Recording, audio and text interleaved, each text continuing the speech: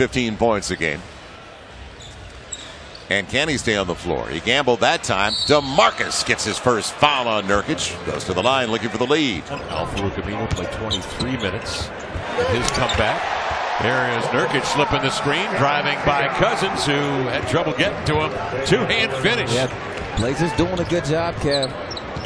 Limiting the second chance points, and Damian Lillard is not messing around. Guy that doesn't want to really be on the block to begin with. Over the top, Cousins an easy one. Good ball movement. Good quick decisions. So did McCollum. He was all over him. Now Cousins trying to lose Nurkic and does it off the glass.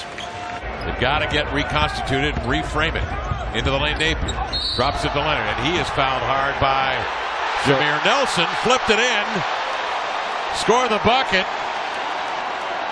Much time left. You've been in this gym before. Oh yeah, ton of time. Darius Miller off the rub. Cousins hard to the hole. Looking springy.